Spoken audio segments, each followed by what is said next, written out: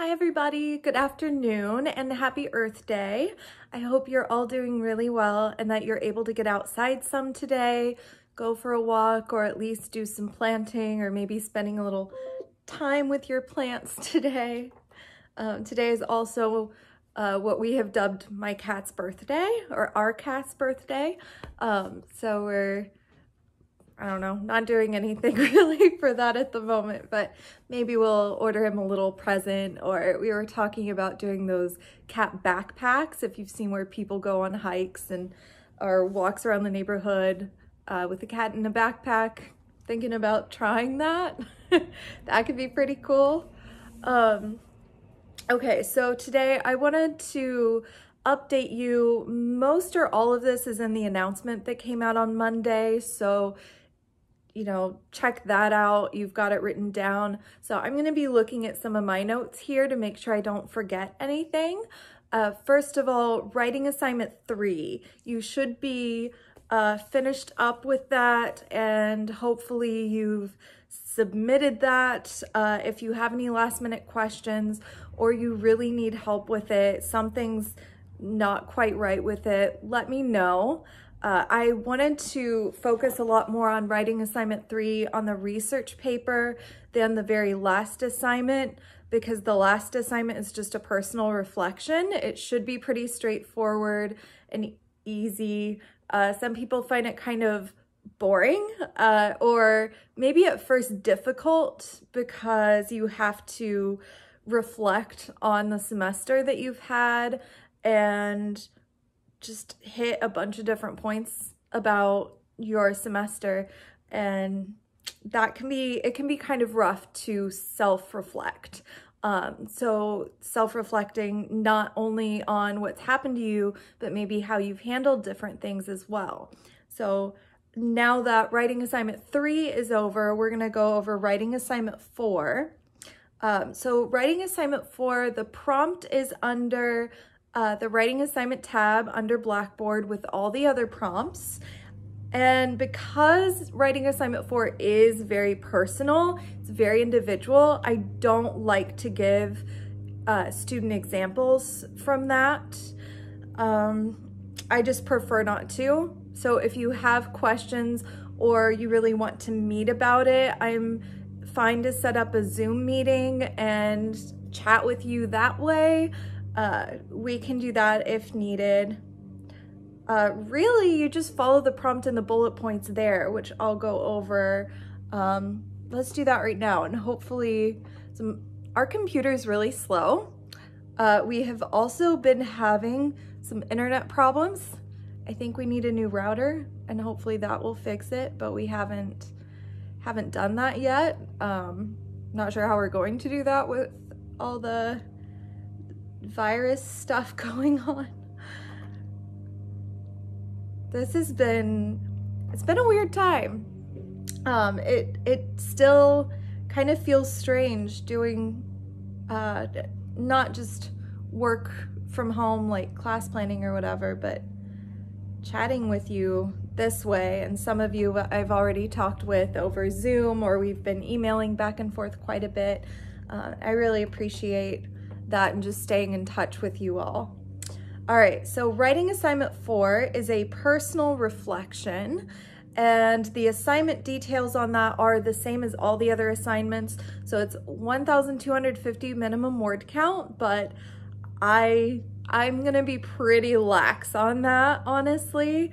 Um, write what fits, like write what you can about each bullet point that we go over, but I'm not super strict on that minimum word count. Uh, it's 20% of your total grade and the font Times New Roman 12 point double spaced, same as all the others. So for this assignment, um, I've had to cut out some things like the process work that we usually do. I am not going to have any process work due for this one. So you, I'm gonna assume that you're doing that on your own, that you're gonna brainstorm, you're gonna come up with an outline and a draft, and then you'll submit the final thing. If you want to send me something, I will look over it, but I'm not I'm not making you turn those things in for points. And I'm going with if you turn in writing assignment four, if you just get that done and submit the final, then um, along with that, you're earning the points for the process work. So just turn in the final writing assignment four and you will get the points for the process work, even though we're not turning that in, okay? Um, and here it says, make sure you attend class and participate. So usually with this assignment, I like to have some group things going on. Uh, I, I tried a little bit with discussion boards. That didn't seem to, to really click. So I'm just gonna suggest if you're able to chat with uh, a friend or family member about your semester or hopefully you are in touch with somebody that you were in class with. Um, chat with them and you know if you need me that's fine too uh, but I've got some bullet points here and I want you to look at all of those bullet points, answer all of those. It's not a pick one or pick two sort of thing. It's address all of these.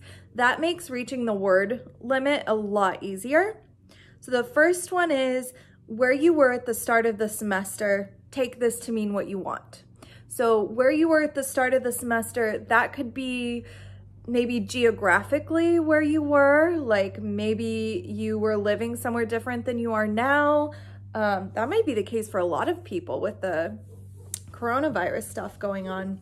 Um, but where you were at the start of the semester could be geographically, it could be academically, um, maybe where you were coming out of high school or coming from a job or the military, wherever you were at the beginning or just before this. Or it could be emotionally, mindset wise, any of that stuff. So very broad, and you can include whatever you want in that. Uh, the second bullet point, the transition to college. So everybody has a different experience and so your answer is going to be your own, really. It's very tailored to you. So some of you are coming straight out of high school. Some of you may still be in high school. And that transition between high school and college is maybe something you're going through now or something that uh, is fresh in your mind. If you've been at Columbus State for a little longer, you can still talk about that transition to college. You could also talk about the transition uh, year to year or semesters to semester. So maybe this is your second or third semester and you want to talk about that. Within that, you can also talk about all of these transitions that are happening for us now with the schedule, the lifestyle that we've all had to adjust to, that is a transition too. So if you want to include like that transition from like normal face-to-face -face classes to coronavirus times, that's kind of what I've been calling it whenever I write something like, I don't know, I was writing on my calendar, like coronavirus times. Um, yeah, so you can write about that transition as well. Uh, the third point I have here is classes. So I really would like you to touch on your classes a little bit. Like what have you learned from specific courses? If like you can talk about any class that you have now. So like maybe you took a psychology class and there was something interesting that came from that that helped you understand yourself or other people better or your community better. You can talk about that. Uh, if you had a, a rough time in a class, I'm fine with you being honest about that and saying that it was difficult and, and vaguely why it was difficult. Uh, I really do not want any teacher bashing. So um, I would prefer to not have names of professors or names of instructors in the paper uh, for your other classes. Um, but, you know, chat about, be honest about your experience. Um, and maybe you learn like how to deal with something difficult that came up. Then I want you to talk about English 1100 in particular. So if you've got a lot of space still in your paper, a lot of words to meet, you can go over each writing assignment if you'd like. You can talk about uh, the memoir and it could be maybe if you liked it or disliked it, what you liked or what you learned or didn't like. Uh, writing assignment two, the response paper, you can chat about that. Uh, and then writing assignment three, the research paper, you can talk about the research process. And again, that's something that we started doing while we were still meeting in class at the very beginning of the research paper. And then it kind of switched. Um, so you let me know how that was. Um, maybe that was really challenging for you to really be on your own. Um, I really like to have more in-class time with the research paper, but that's, that's what we're working with. Um, do you think you've changed as a writer or a critical thinker? Like maybe recognizing why you think or act or believe the way that you do. You could apply that to others as well. Maybe learn about why other people are the way they that they are. Uh, and has your writing process changed? So sometimes people realize that brainstorming or an outline was really helpful and maybe it's not something they did before and now they're going to incorporate it through all of their classes that they have to write for. Like every paper, they're gonna do that. So let me know. Uh, and then personal landmarks is the last bullet point here. Uh, have you learned a valuable lesson this semester, such as asking for help when you need it, something with time management? Have you had significant life changes happen outside of school, such as a landmark age, moving, having kids, etc. Um, again, there's a good place to talk about the coronavirus and how you're handling all of these life changes. Um, you will end up with a common thread, like a thesis statement throughout all of this. So maybe the major theme just ends up being, I changed in these three ways. Maybe it's I became more independent this semester because the coronavirus forced me to.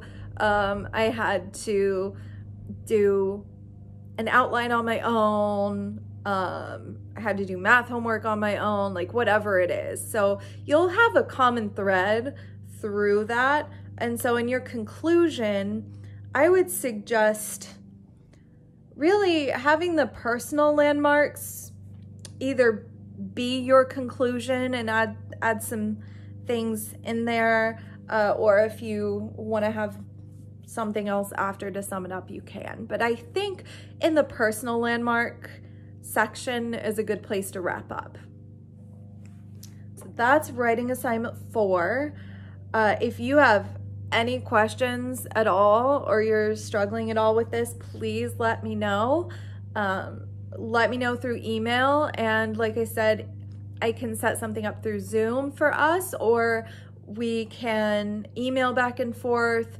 If it's relevant to everybody, I can like better help you by putting up a uh, Blackboard announcement or something. Let me know uh, if you need any help. Like I said, typically this is pretty straightforward. Um, it's, it's not a difficult assignment. You don't have to do any research for it at all. Um, if you would like to include any kind of narrative technique for the introduction, you could give kind of a mini memoir, mini narrative, maybe about your, your first day at Columbus State or the moment you had like a struggle that you got through or something, something else. So that's, that's up to you. Uh, if you'd like to include any pictures, I suppose you could. I don't really have anything in mind for that. Uh, typically, people just follow the bullet points and that's it. So that's writing assignment four. I hope it goes well and is really easy. Um, I mentioned some people do struggle with it just because you do have to reflect on what the semester was like uh, for you. Um, I know that a lot of people have had big life changes. Uh, you have the power as an author to write what you want. So if you're not comfortable addressing a specific part of your life that affected your schoolwork, it all, our, everything in our lives affects everything else, but uh, you don't have to write about it, okay? It's totally up to you what you want to include. All right. So, hmm, hmm, hmm. Writing assignment four, the one that we just talked about, the personal reflection, is due Friday, May 1st. So that is next Friday. So you have over a week to work on this assignment, or if you're still finishing up writing assignment three, that's okay. Uh, and then you can move on to this and get this done in a few days. Um, I'm still taking that 48 hour grace period. So writing assignment four is due on the first, but it's okay if it doesn't get in until the third. So that's, that's like the very latest. All right. The third of May is the latest you can turn that in. Okay. We will have a final that I will uh, put up as an announcement with some videos. So uh, I'll talk more about the final next Monday, but just know that the final, it's, it is not like, uh, it, it's not another essay. It is not an exam. Um, it's a goal setting worksheet. So I'll have some videos for you to watch about goal setting and then you'll write down three SMART goals. So very specific goals. Um, they could be academic, personal, career driven, uh, financial, like whatever. So our final is I uh, email you through Blackboard announcement, a document and some videos. You watch the videos, learn about SMART goals, and then write down your goals and that's it. So I will post more information about that next week and I can go through a video about that as well. Um, but it's really simple, straightforward, just kind of wrapping things up and hopefully just reflecting on your experience this semester. Okay, I think that's all I have. Yeah, that's it. So please let me know if you have questions. Um, also, let me know if there's anything else you'd like me to go over. If, because we've missed out on a lot of in-class stuff. Um, but if you have any questions about writing for, you know, any type of genre, any type of class, whatever, um, just stuff stuff that you would like me to go over that you're interested in, um, please let me know and I will be sure to include that over the rest of our semester. So thank you for watching. I do miss you all. I think about you all. I hope that you're having an all right time with, uh, I was going to say quarantine, but I don't know if it's technically everybody's in quarantine. But I hope you're able to get outside and enjoy life. All right, bye.